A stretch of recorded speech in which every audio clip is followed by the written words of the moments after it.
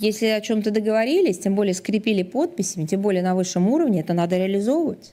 Əgər nə barədəsə razılaşmaq olubsa və imzalar atılıbsa, üstəlik bu imza atma yüksək səviyyədə həyata keçirilibsə, bunu reallaşdırmaq lazımdır. Üçüncü tərəfləri, hətta üçüncü deyil, beşinci, onuncu tərəfləri cəlb etməklə yeni konstruksiyalar fikirləşmək lazım deyil. Razılaşmalar var, onları icra etmək lazımdır. Bu elə zəmanət deməkdir. Ermənistan rəhbərliyinin əsas məsələ ilə bağlı mövqeyi kardinal şəkildə dəyişib. Üstəlik, məhz İrəvan üçün əsas olan məsələ ilə bağlı. Bu İrəvanın məsələsidir, onların daxili qərarıdır внутренних э, их э, в- выработки решений. организациях появилась информация, что Ötən gün Xankəndidən belə bir məlumat daxil olub ki, Rusiya sülhməramlı kontingenti Ağdam-Xankəndi yolunda çadırlar quraşdıran Azərbaycanlıların hərəkətlərinə niyə icazə verib?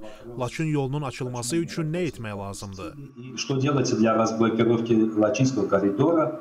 Почему опустили российские миротворцы? Это Sülhməramlılar niyə buraxıblar və ya buraxmayıblar? Bu sülhməramlıların vəzifəsidir. Laçın yolunun açılması üçün nə etmək lazımdır sualına isə mən artıq sizə cavab verdim. Öhdəlikləri yerinə yetirmək lazımdır. подробно ответил, отвечая на ваш первый вопрос.